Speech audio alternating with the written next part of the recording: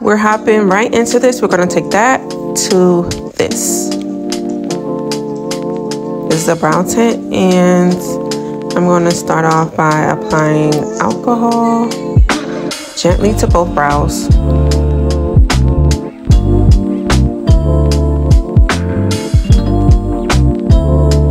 Use a spoolie to brush out the brows.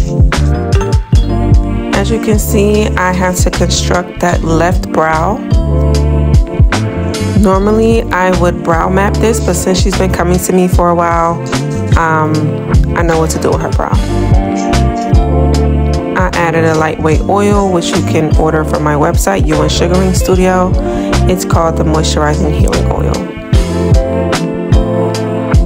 Now I'm just filling in the brow with Brow Code. I'll list the name of the exact color in the description.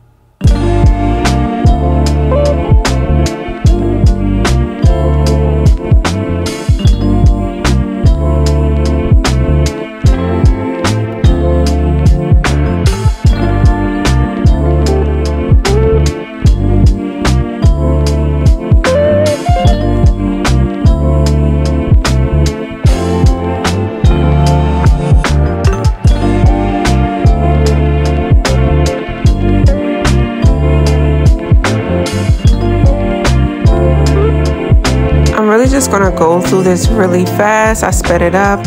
I'm just constructing the brow as best as I can. Her brows are uneven, but I've done her brows tons of times, so I pretty much have a good idea of how to construct it. If you guys want an in-depth brow mapping tutorial, just let me know in the comments.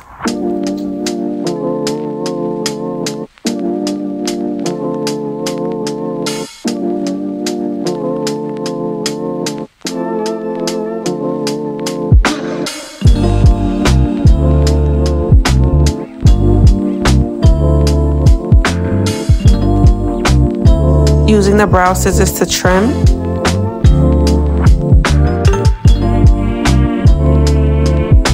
I ran out of eyebrow razor, so I'm using a regular razor. Uh, don't do it this fast. Definitely want to take your time because you will nick your client.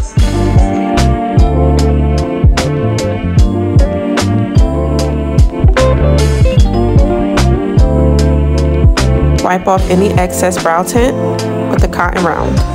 Thank you.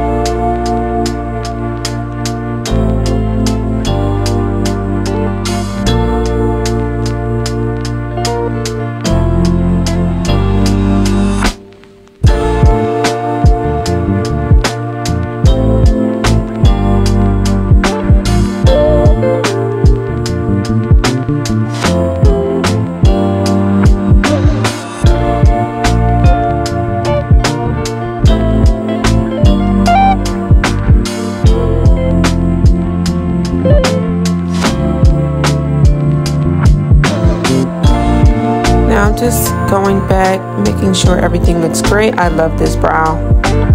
And again, I like to tell my clients that brows aren't twins, they're sisters.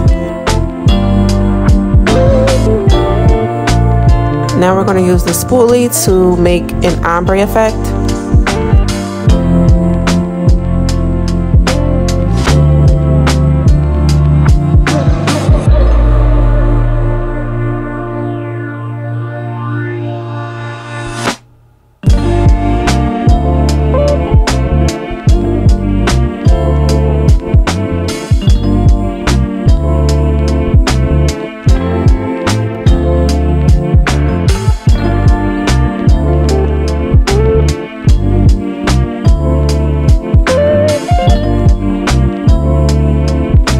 And I'm going in with the razor on the opposite side, as well as using the cotton rounds to wipe off any excess brow tint.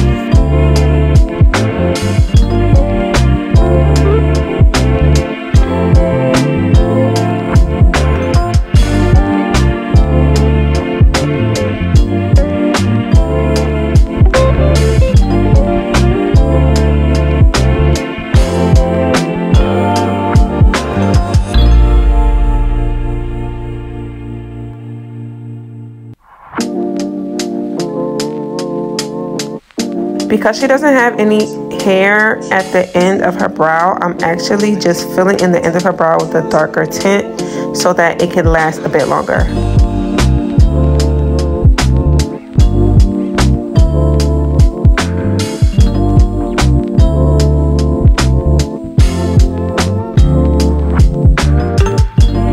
Now my favorite part, we're gonna highlight underneath that brow to give it a sharp pop.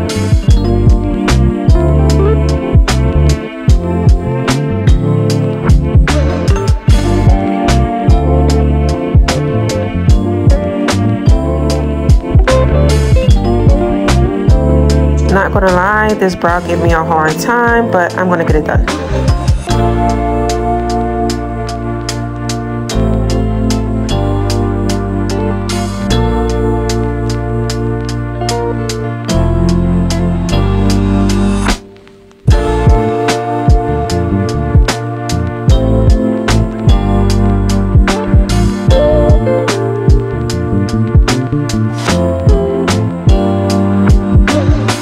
The final look.